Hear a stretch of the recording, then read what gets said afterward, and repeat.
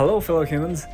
In this video, I'm going to show you how I discovered the mysterious mushroom that's been all the hype on the internet lately. When I was researching where to find this iconic mushroom, I came across a blog post suggesting that locals in Gunma or Nagano prefectures consume it for both dietary and spiritual purposes. Although I couldn't find any recent sources confirming this, an 11 years old blog post mentioned a specific location where Amanita mushrooms could be found. It is called Yagisawa Dam in Gunma Prefecture. Since I live in Tokyo, Gunma was a more accessible option than Nagano, so I decided to set off on a cycling trip to the dam. I set off from Tokyo, taking three different cycling courses to reach my destination, Numata, a city in Gunma Prefecture. I chose Numata because it is close to the Yagisawa Dam, which is located about 45 kilometers away. So I figured I'd stay there on day 1 and reach the dam on day 2.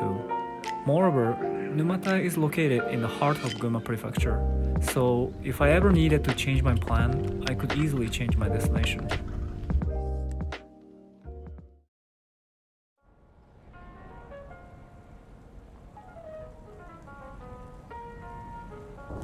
The first cycling course I took was Shibakawa Cycling Road. It was a bit difficult because the bridge kept stopping me, so it didn't really feel like a shortcut compared to regular street. The second cycling course was called Green Healthy Road. I don't know why it's called that. Maybe the city wanted to promote people using it for wellness purpose. But it definitely was very green. I didn't stop by, but some of the parks along the side of this cycling road looked really beautiful.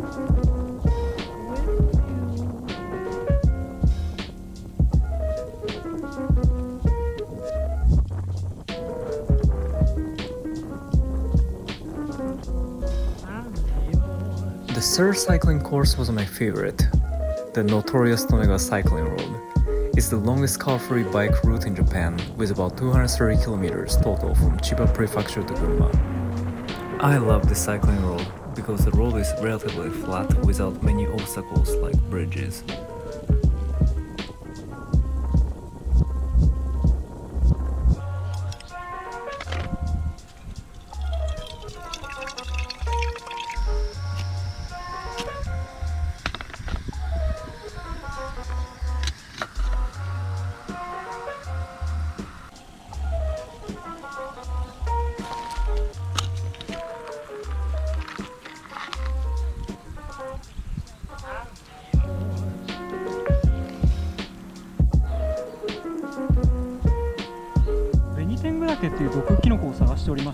After a quick lunch break, I decided to call some local mushroom farms in Gunma since I had come all the way here and my only source of information was a blog post, which was from 11 years ago. I wanted to find more candidate areas to search, but none of the farms knew where the mushroom grew. ちょうどなんか一回りぐるーって散歩側に回って50キロだからちょうどいいさ あそれそれでも50キロなんですね。いい運動になりますね。友の代りスピードは出ねえしもう77だからもうみんな競争してやるしてる連中がみんなこれやっちゃって。る膝とかですかね。そうです。ね前橋にあの住んでらっしゃって散歩がてらに50キロ走るのすごい。そうそうちょうどいい。お疲れ様です。じゃあね気をつけてね。あありがとうございます。気をつけてください Right before I left the park, I met a friendly local cyclist who started talking to me. He introduced himself as a 77 year old who lives in Maebashi, also in Gunma Prefecture. He told me that he cycles about 50 kilometers every day. He said that most of his friends his age have retired due to knee pain or injuries, but he seems very proud of his wellness. I should ask him the secret to stay active without getting injured.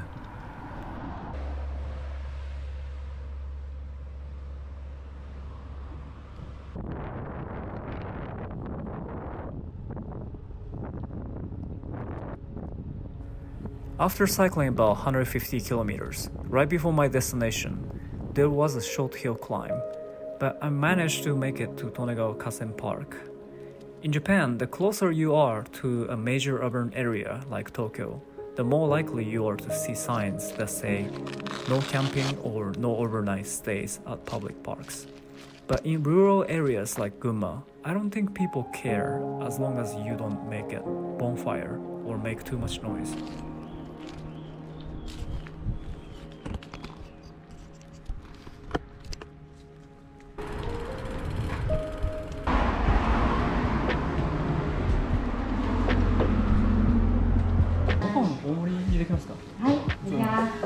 For dinner, I visited a local restaurant called Mine Shokudo, which was less than 10 minutes from my base camp. The meat was nicely seasoned and went well with white rice. After that, I was tired from the long ride, so I immediately fell asleep. I'm not going to spoil it, but I made a mistake when I chose to stay at the Tonegawa Kasen Park. You will find out why soon enough.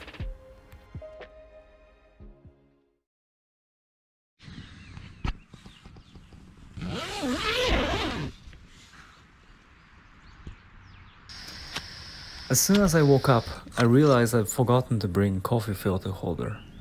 The coffee filter paper can easily collapse, and even though I was careful not to spill any coffee powder, I somehow managed to make a mess and spill almost all of it into my cup. So, here I am trying to drink coffee Madagascar style. This is seawater. Oh, you don't swallow it. Because this campsite is close to the river, I noticed that it creates a lot of condensation. As you can see, the surface of my bike got completely soaked.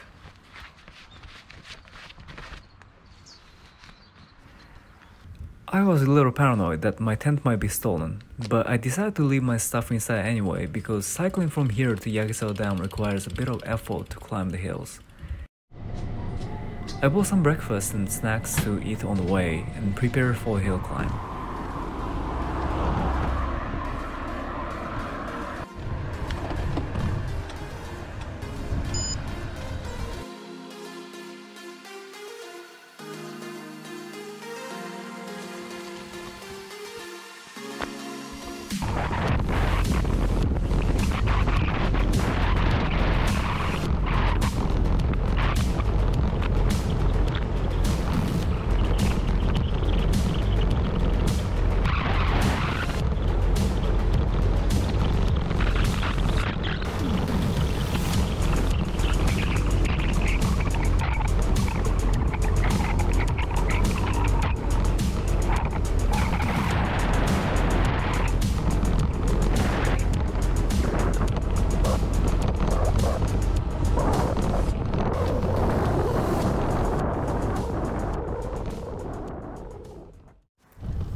As I got closer to the top, the color of the trees gradually changed to autumn colors, which created a phenomenal view. I'm, I'm really happy to see this view. It's amazing. You may have noticed that the gradient I overlaid in this video isn't very precise. The gradient of either descending or ascending feels like it subtracts a few percent from the original data. I don't know why this happens, but I'll try to fix it for an upcoming video.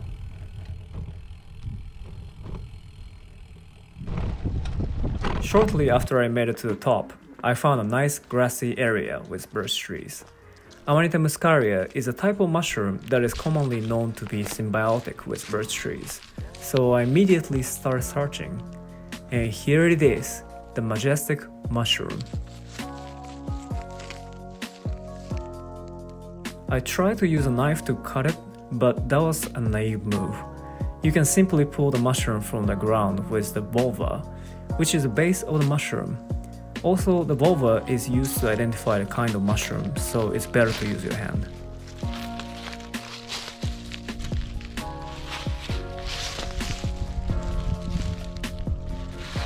And here is a money shot of the thumbnail mushroom I found.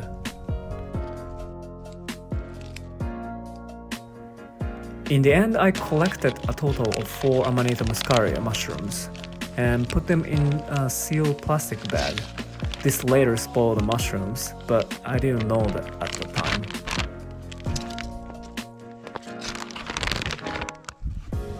While I was packing up, I saw a fox approaching me. At this point, I was a bit paranoid that the fox might steal my mushrooms or even attack me, but I later discovered that this was an unnecessary concern. I have a feeling that this fox has been fed by tourists at this site, so that could be why he approached me. I found it quite adorable.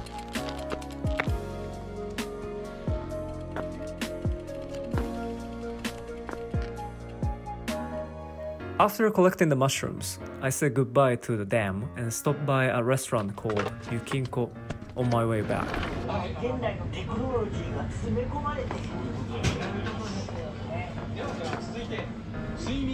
Since they had motsuni teishoku, which is a local Gunma cuisine, I ordered it. Motsuni stands for organ meat stew in Japanese. As always, I enjoy the local restaurant. The stew was spicy and had a good meat broth flavor.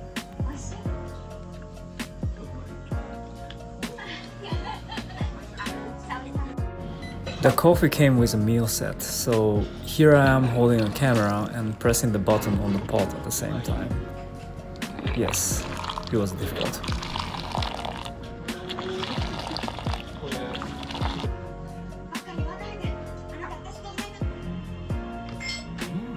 After the delicious meal, I decided to find a local place that could examine mushrooms.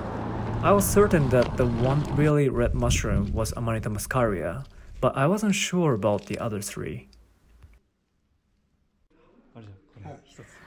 On my way back to the campsite, I saw a local shop with a sign outside that says mushrooms on sale, so I stopped by.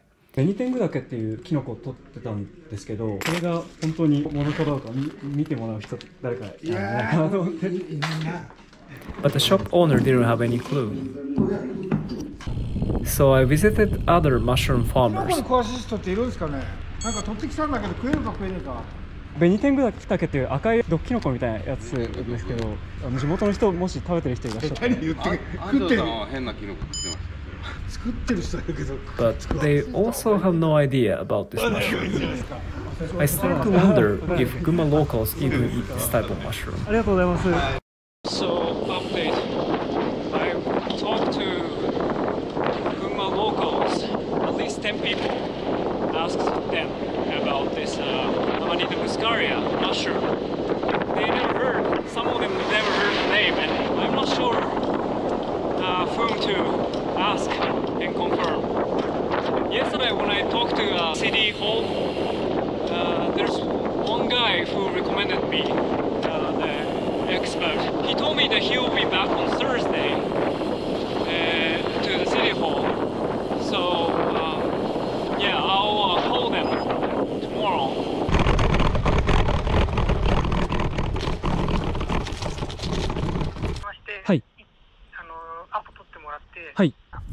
Thankfully, a staff member at Gunma City Hall who I spoke to over the phone suggested a place where they could examine mushrooms.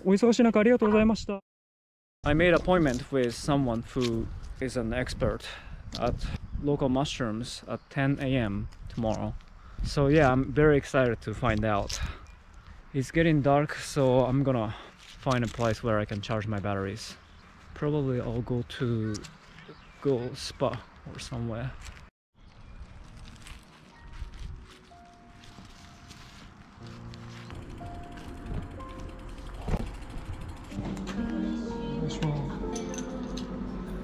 りがとうございます。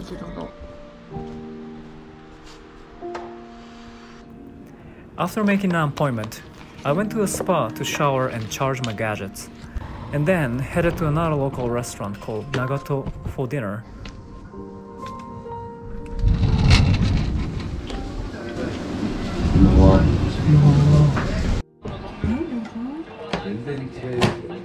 This place was really interesting because the food portions were huge and the meat was tender and delicious. You can see that some locals who were entertained by the size of the dishes. By the way, at this point, you may have noticed that I only go to local restaurants, simply because I love them. I used to not like them very much because I preferred the consistent food quality like franchise restaurants. But in doing so, I realized that I wasn't exploring what was around me. More importantly, While franchise restaurants contribute to large corporations, supporting local businesses directly benefits the community. Anyway, Japanese restaurants offer unique experiences, not only in their atmosphere, but also in the distinctive flavors of their miso soup. Each restaurant has its own signature taste. For example, the last restaurant had a mushroomy miso soup, while this one's flavor has a rich fish broth. I'm not a food critic, but you get my point.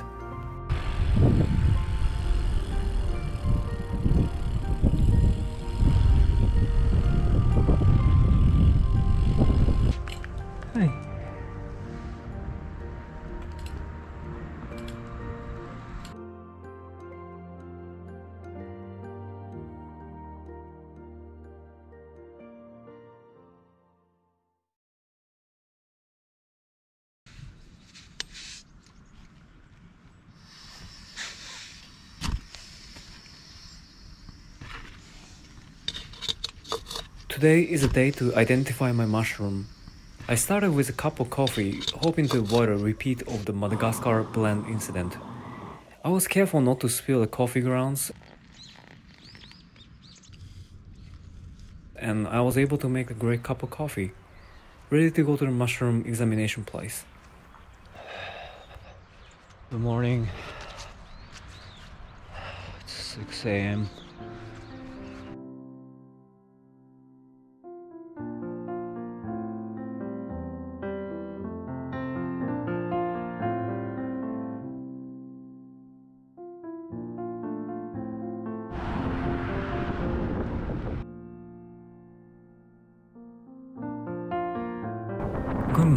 also known for its strong north wind, so it's difficult to approach from the south, such as Tokyo, but on the way back, it was very easy.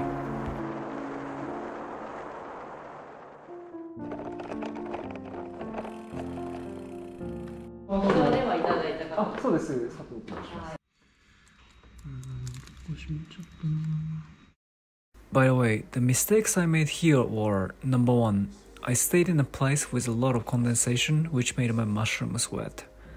And number two, I should have put the Amanita muscaria mushrooms in a mesh bag in the afternoon to circulate the air around them and help them dry faster. I learned that Amanita mushrooms lose their potency when they get wet because the chemical compound called ibotenic acid is easily dissolved by water. 綺麗に撮っていただきましたね。結構皆さんここボキって折ってあそうなん持ってきちゃう人とかいるんで、はい。やっぱここが特徴なんでキノコ調べるときは傘も大事なんですけど、はい。この、まあ、皆さん軸って言ってますけどここにうんつばっていうのがあったりなかったりするかとか、はいはいはい。まあ、あとここつぼっていうんですけど、はいはい。これがあったりなかったりとかあるんだったらどういう形だとかそれが大事なんで、すごい綺麗に撮っていただけて、これはもうあのベニテングダケっていうのはえー大体見てわかるんですけども、はい。そこの横にあったこのキノコ茶色がかっていてで調べるとアマニタパンサリアだったかな。ベニテングダケの亜種みたいな感じなのかなとも思ってたんですけど。ベニテング狗岳の種みたいなので、はい、図鑑に載ってないようなのもあるかもしれないんで、はいはい、そこまで細かく言われちゃうと こちはも自信はないんですけど。ベニテングと似たようなやつだと何がありますか、ええ、卵だけでフミメベニテングぐらいですかね。かくて天狗岳の仲間だとフミメベ紅天狗岳と、はい、卵だけですよね。なるほど。が紅天狗岳で、はいはい、フミメ紅天狗岳で。卵タケ卵タケでもないですしこれでもないと思うんですよね、うん。まあベニテングダケで合ってると思います。あありがとうございます、はい。ちなみになんですけどこれはベニテングだけなんですかね？茶色ねがかっててここれなのかなと。確かに色だけ見るとこれには思えないんですけど、はい。ただこれだと、はいはい。さっき言ったつばっていうのがここにあるんですよね。こういうここから垂れるんですよね。スカートみたいな。はいただでもこれこれ見るとこここについちゃってますよね。わかんないですね。やっぱ色あせるとこうなっちゃうかあな。あ一部の場所を食べてるところってどこにあるそういう昨日あの電話したと思うんですけど男性とあれがあの私の上司なんですけどこういう話は群馬では聞いたことないね。えー、そうですか？やっぱり主に新潟とか長野とかあっちは聞いたことありますけどこの地域っていうのは私たちは知らない。The mushroom examiner confirmed that my mushrooms were Amanita muscaria, and she also suggested a place to search for them. that is approximately 30 kilometers away and has an elevation gain of 1,350 meters. I just um, talked to the mushroom expert and she confirmed that actually that was Amanita muscaria and I'm really happy and now she suggested me a place to look for but the place is I don't know if you can see but there's lots of lots of ascending. I don't know if I'm should go or not. I'm thinking about it. I didn't want to regret not searching so I went to the place anyway. Yes greed is a curse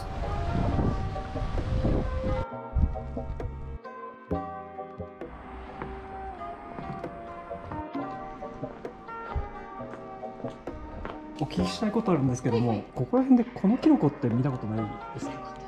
ないです。かわかりました。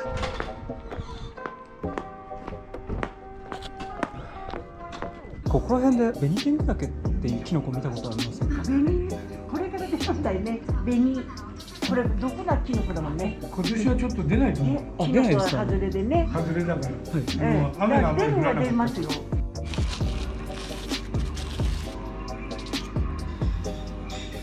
I was hoping to find Amanita mushrooms because the place is literally called Birch Tree Road. However, even after spending 3 hours there, I couldn't find any Amanita mushrooms or even any regular mushrooms. So, quick update. Although I see a lot of birch tree, I don't see uh, Amanita muscaria. A local uh, guy at the restaurant recommended me to go to Tonemura, but uh, it's getting dark, so I'll save that for maybe next time. While the locals' suggestion was tempting, I decided to save the spot for another adventure since it would require another few hours of hill climbing. Also, I was paranoid about staying in Gunma without dehydrating the mushrooms I had already collected. So, that wraps up my expedition in Gunma. As always, thank you for watching.